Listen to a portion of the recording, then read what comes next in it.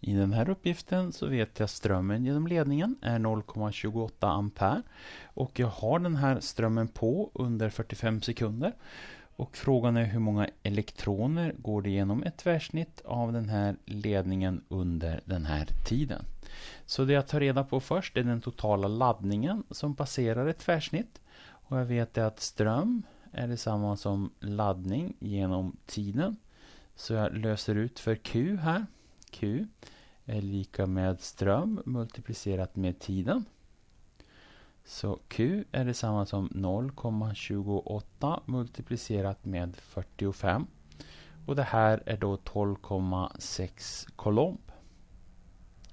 Så laddningen 12,6 kolomb passerar då under de här 45 sekunderna. Och hur många elektroner motsvarar det? Så antalet är detsamma som den totala laddningen, 12,6 dividerat med laddningen för en elektron som är 1,602 multiplicerat med 10 upphöjt till minus 19. Och då får jag det till 7,87 multiplicerat med 10 upphöjt till plus 19.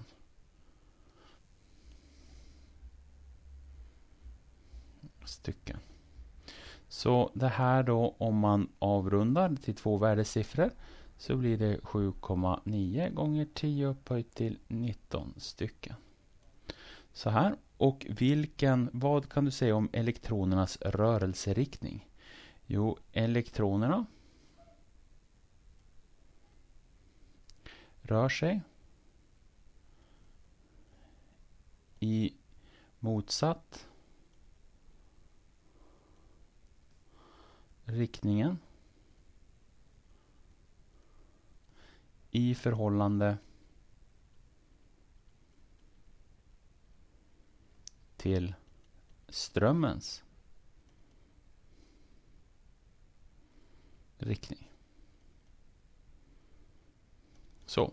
Och i en elektrisk krets så har jag en strömriktning så vet jag alltid att elektronerna rör sig i den motsatta riktningen som strömmen har.